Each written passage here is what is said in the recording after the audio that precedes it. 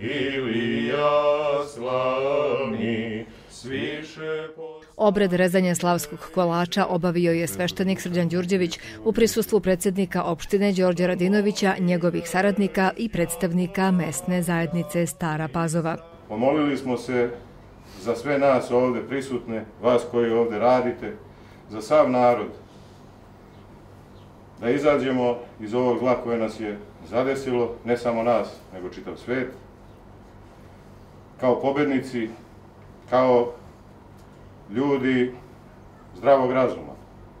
Stara poslovica koju nismo niko ovde od nas izmislili, kaže ko se čuva i Bog ga čuva. Manifestacija Dani opštine Stara Pazova prethodne dve godine obeležavala se tri dana uoči i na dan Svetog Ilije, ali ove godine programi nisu realizovani. Po preporuci opštinskog kriznog štaba odlučeno je da se slava obeleži simbolično, bez obzira na to što je trenutno epidemiološka situacija stabilna. Naravno po preporukama i, i lekara i stručnih ljudi koji vode naš ovaj, tim koji se time bavi, tako da zaista nam je žao svima što nije bilo kao prethodnih godina zaista mnogo lepih dešavanja u Stare Pazovi.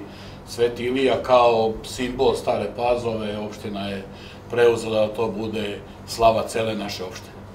I evo sad mi ovde koji smo prisutni, Ja vam svima želim puno sreće i zdravlja i uspeha i naravno svim građanima naše opštine čestitam slavu. Podsjetimo, Svetom Iliji Gromovniku u Staroj Pazovi je posvećen pravoslavni hram, čiji su temelji osveštani 1827. godine, a kao seoska slava proslavljao se još u periodu pre Prvog svetskog rata.